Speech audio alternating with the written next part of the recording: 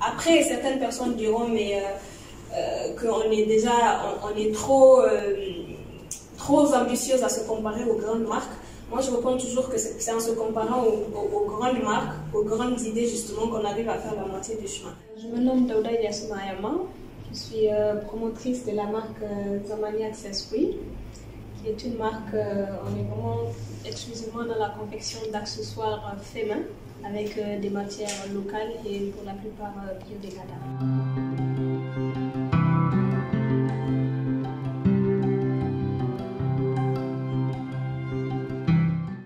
Euh, nous ici, on utilise deux matières principales, à savoir la tige de mie et le palmier. Cette matière que vous voyez ici, c'est du palmier doux. Mhm. Là, c'est le cuir. Oui. D'accord? Et là, c'est la croix d'Agadez. Elle est en bronze, monsieur que vous voyez ici, c'est du palmier doux. Là, c'est du cuir, comme à l'intérieur aussi. Et ici, c'est une croix en bronze. Vraiment, euh, j'aime consommer nigérien. Et euh, vraiment, elle fait du bon travail. On a de très bonnes finitions. La qualité, elle est top.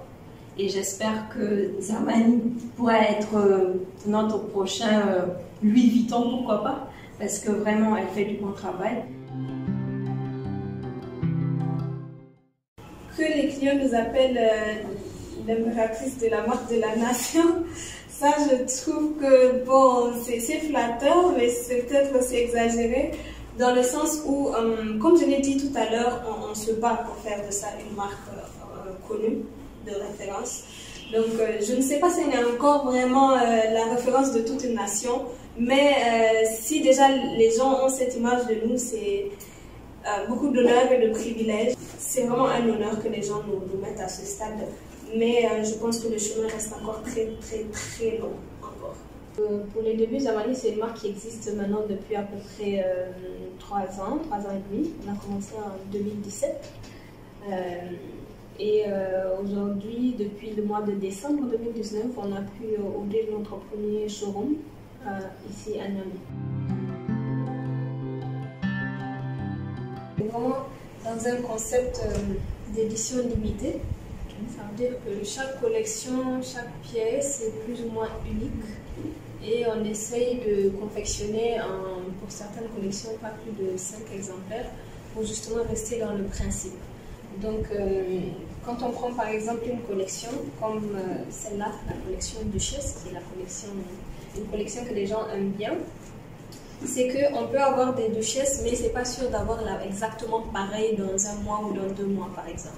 Donc après, c'est quelque chose de bien et pas bien à la fois.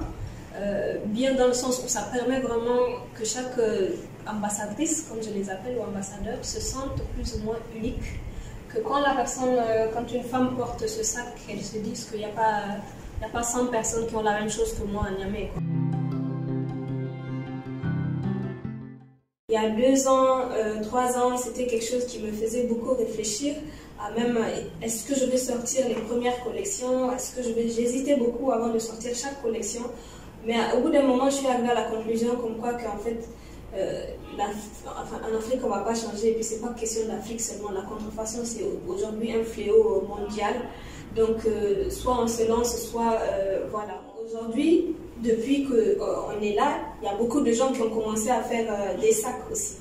Il y a beaucoup de gens qui ont commencé à faire des sacs similaires aux nôtres parce que faire des sacs, des accessoires, on ne peut interdire à personne de faire euh, quoi que ce soit.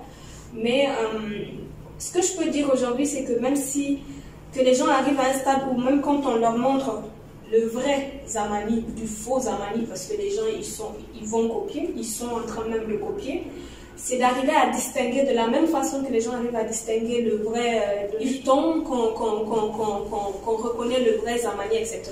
Après, certaines personnes diront, mais euh, euh, qu'on est déjà, on, est trop, euh, trop ambitieuse à se comparer aux grandes marques. Moi, je réponds toujours que c'est en se comparant aux grandes marques, aux grandes idées, justement, qu'on arrive à faire la moitié du chemin. Je pense qu'il n'y a personne qui peut se battre à notre place quand on a un rêve. Il n'y a personne qui peut croire en nous autant que nous-mêmes. Donc, euh, le premier euh, soutien, le premier encouragement, la première motivation doit être euh, doit venir de nous-mêmes en fait. Donc, il faut vraiment croire en ses rêves et ne pas laisser les autres nous faire croire. qu'on n'est pas bon.